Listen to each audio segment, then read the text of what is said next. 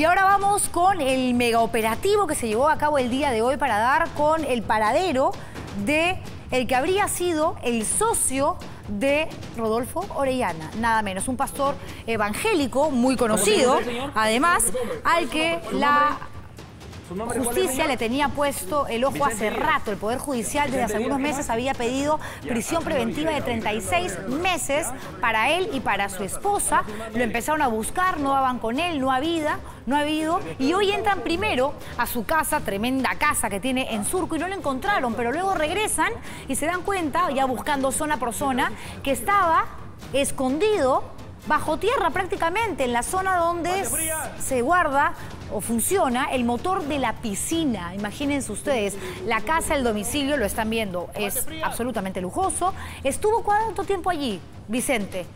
¿Eh? Siete horas, siete horas, más de siete horas, imagínense ustedes, no salía y esto a pesar de ser una persona mayor. Vicente Díaz Arce tiene 78 años, es el ex socio de Rodolfo Orellana y a él las autoridades peruanas, la Fiscalía le imputa delitos gravísimos, asociación ilícita para delinquir y lavado de activos como parte justamente de una organización criminal, que no es lo mismo actuar ¿no? de manera solitaria que formar parte de una enorme red, como funcionaba, si bien recordaremos, la red orellana. Pero ¿cómo operaba? este pastor evangélico, porque encima, claro, se escudaba en la religión, ¿no? Y en eh, supuestamente bendecir y hablarle de Jesucristo y de Dios a las personas que iban y creían en él para llevar una doble vida. Y por el otro lado, ¿ah?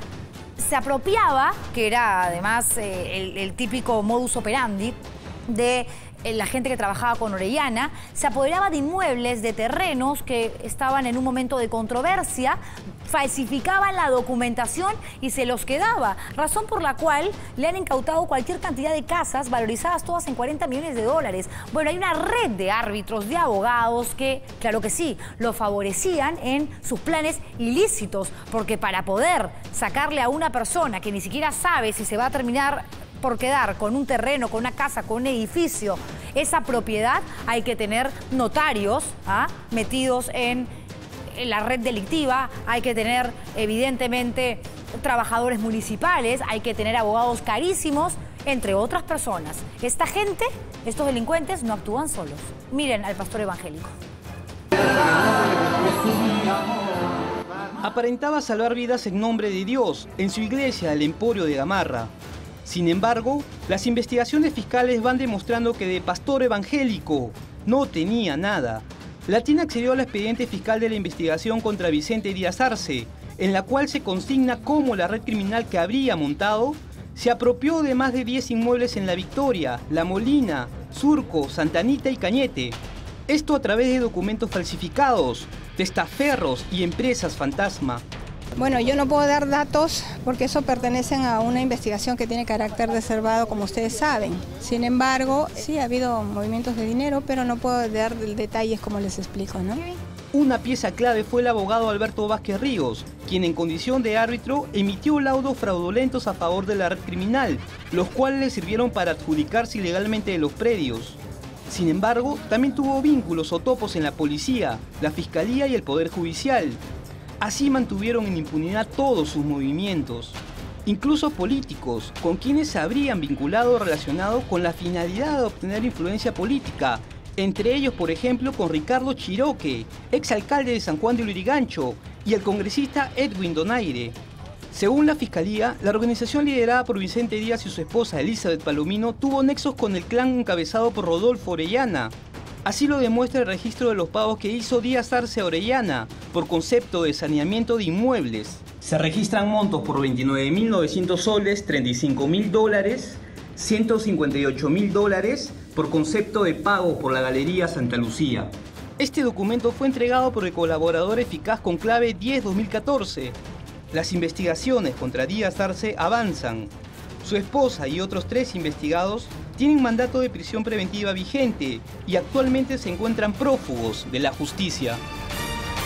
No, efectivamente sabemos también que este pastor evangélico tiene diabetes, tiene problemas de corazón y otros males, productos también, producto también de su edad, 78 años. Ven a su esposa y piensan que es menor. No, no, no, tiene 78 años. Pero a sus 78 años, miren ustedes cómo ¿ah? se apropiaba de manera ilícita de inmuebles aprovechándose del amigo abogado, del amigo político, que estoy a la espera de la respuesta del congresista Edwin Donaire. ¿Qué va a decir al respecto? Su nombre aparece allí y además tuvo tiempo y físico suficiente para esconderse durante más de siete horas en el subsuelo de su propia casa, donde está la máquina, el aparato, el motor que hace funcionar a la piscina. En total, el día de hoy, en este tremendo mega operativo, se incautaron 13 inmuebles de propiedad de un pastor, un pastor que además en las iglesias evangélicas sabemos que vive de un sueldo y el sueldo de un pastor evangélico no da para tanto casa y menos para la mansión donde vivía y se escondía en Surco. Bueno, el también empresario vinculado a la red Orellana no solamente tenía estas casas lujosísimas que van a ver a continuación, sino los lujos que habían allí. Está la piscina, tenía hasta pavos reales, no, no es broma, pavos reales. Miren. Una piscina, salones amplios con piletas y muebles, Modernos vehículos y hasta pavos reales adornaban esta lujosa propiedad de 3.500 metros cuadrados que poseía en Surco el pastor evangélico Vicente Díaz Arce, vinculado a la red de Rodolfo Orellana. La mansión está valorizada en más de 5 millones de dólares y fue el primer inmueble en ser incautado por las autoridades.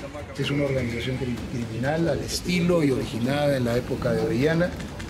Esta eh, se trata de usurpación de propiedades, aprovechamiento fraudulento de propiedades de terceros. Mientras esto ocurría en otras zonas de la ciudad, la Fiscalía de Lavado de Activos y la Policía Antidrogas, de manera simultánea, intervino otras 12 propiedades manejadas presuntamente por la organización criminal liderada por Díaz Arce y su esposa Elizabeth Palomino Córdoba. Se ha incautado un conjunto de galerías, partes de galerías, etcétera, que suman un total de 210 stands de Navarra. El megaoperativo en el emporio comercial de Gamarra empezó a las 8 de la mañana. El equipo de fiscales y la policía allanaron el sexto, séptimo y noveno piso de la Galería Santa Lucía. Cada puesto en este edificio está valorizado en 200 mil dólares.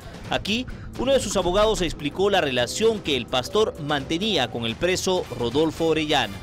Él ha sido él es pastor evangélico, y está su iglesia, que en todo momento ha, este, ha dejado de percibir un ingreso simplemente para eh, atender a personas que, necesitan ayuda. Y de esa manera llegó este, Rodolfo no tengo entendido yo, este, pidiendo ayuda espiritual, religiosa, Solo en esta propiedad se calcula que hay por lo menos 210 comerciantes afectados. Vicente Díaz también sería dueño de otras dos oficinas en la Victoria, además de casas en el cercado de Lima, Santa Anita, La Molina y Cañete. Tres inmuebles valorizados en 30 millones de dólares que pasarán a ser administrados temporalmente por la Comisión Nacional de Bienes Incautados.